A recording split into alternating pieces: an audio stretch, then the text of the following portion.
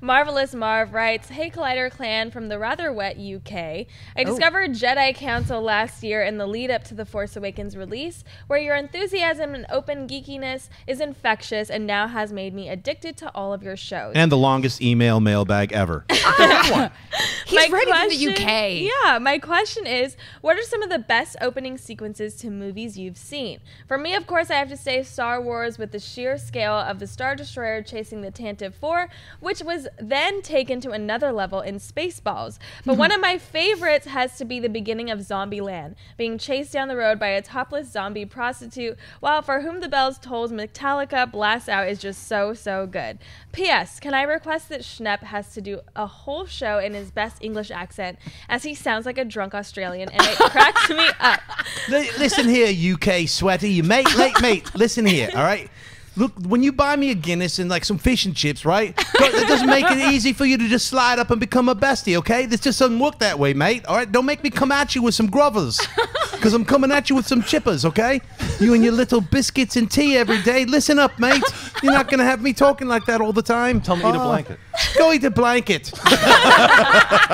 That was amazing. Um, As far can you, Mr. Eng- Mr. English, can you tell me your Mr. Mr. That's Mr. your new name, English. Mr. English. Mr. English. Can you please tell me your best opening in movies? One of my favorite openings is Raiders of the Lost Ark, and in uh, Temple of Doom also was great. It had a scene with the rolling, and they had the things that get the antidote, and then they had the last one, right? They had a great opening with River Phoenix as a young Indiana Jones, and I'm not going to talk about Nuke the Fridge. okay, You so- should be on Game of Thrones. Yeah, that, was real- beautiful. It was really good. That was beautiful. Really All good. right, thanks, mate. I'm, I'm Oh my done. God. Back to normal. Back to normal. Thank you, Mr. English. Um, I for me, it's Saving Private Ryan. I mean, Oh. come Oh my God. It's, D-Day. I mean, you are transferred to World War II.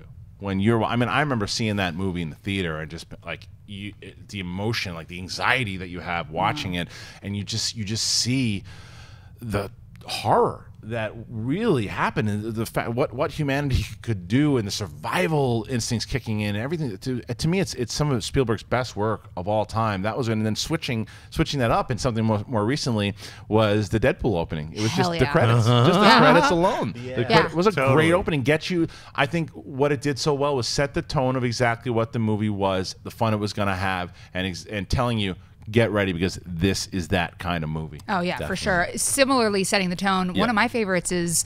Do the right thing. The opening of Do the Right Thing is mm. so intense Rosie and powerful. Perez. Rosie Perez just like popping. Yeah. And that that tells you everything you need to know about that movie. It's so visceral. And even if you rewatch it now, you're just like, oh my God, this is insane. Right. But also every Bond movie. Come on. Because that again lays out, you can see if you just watch the trailer, or not the trailer, if you just watch that opening credit montage, you know who the villain's gonna be, you know what the theme's gonna be, you get that music. That is they're always the best. Oh, this is a really good. Okay, so again, you guys are giving great, great answers here. Inglourious Basterds is a great Oh, one. yeah. Mhm. Dark Knight is a great one. Watchmen, uh, opening of the Two Towers, Taxi Driver.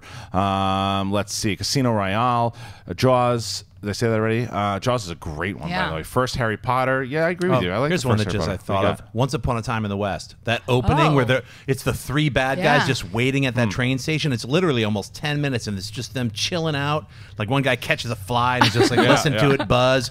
Check it out. It's one of the greatest openings. Sergio Leone. Reservoir Yeah. Dogs, Lion Oh, King, yeah, Reservoir Super Dogs. Troopers, Social Network, Revenant. Madonna, the whole that whole oh my dinner God, that scene. montage. Everybody Yeah. tips at my table. That Yeah. monologue is one Yeah, of the love it. greats of all time. Oh man, Pulp Fiction too. Pulp Yes. Fiction is an incredible, just like anything that Tarantino has done. Yep, just put that in there. Yeah. Hey guys, if you like this clip, click here to watch the entire episode. Also, make sure you subscribe to our YouTube channel because it'll help you stay up to date with all the stuff we've got going on here at Collider.